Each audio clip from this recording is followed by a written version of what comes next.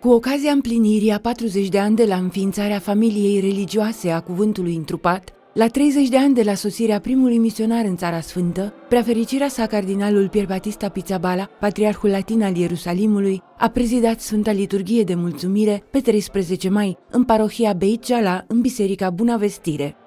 După omilie, membrii institutului și-au reînnoit voturile religioase. În total, în Țara Sfântă sunt 19 preoți și aproximativ 40 de surori, precum și membrii ai Institutului Secular.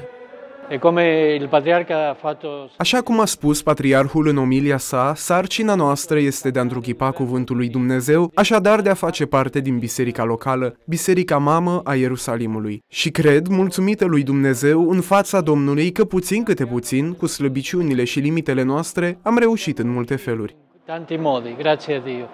Rodnicia vocațiilor lor a dat rezultate aici, în Țara Sfântă.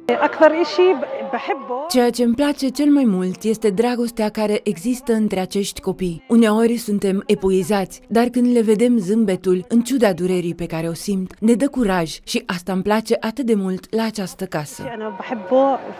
Întruchiparea iubirii lui Dumnezeu în toate împrejurările vieții, pentru a da mărturie și a aduce omagiul lui Isus, Așa vorbește Părintele Gabriel despre situația de astăzi din parohia Gaza, o prezență care întărește speranța în Dumnezeu. Quindi la sofferenza è enorme a Gaza. Așadar, suferința este enormă în Gaza. Morții sunt numărați peste tot, la fel și răniții. Din punct de vedere uman, nu se vede niciun orizont de speranță. Dar religioșii noștri, părintele Iusuf, sora Pilar, sora Socorso și alte surori ale Maicii Tereza și alți laici încearcă să dea mărturie despre acest lucru. Încearcă să nu-și piardă speranța în Dumnezeu și să continue să lucreze pentru pace și dreptate în ordine a una giustizia. Cu afecțiune maternă, urmând exemplul Mariei, surorile caută să dea mărturie despre învierea lui Hristos și să slujească pietrele vii reprezentate de creștinii din această țară, în special pe cei mai săraci și abandonați. Astăzi, ele îi mulțumesc Domnului pentru acești 30 de ani de perseverență în misiunea lor.